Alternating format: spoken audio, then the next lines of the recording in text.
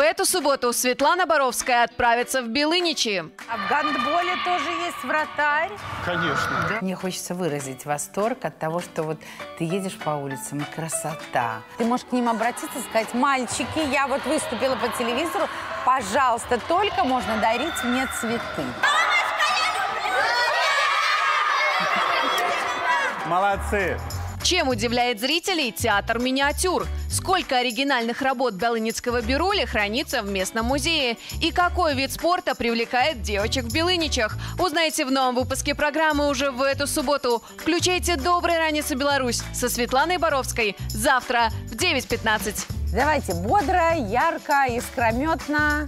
А кто тебе фингал подбил или это так мне кажется? Рабочий момент. Мама мия, куда я попала?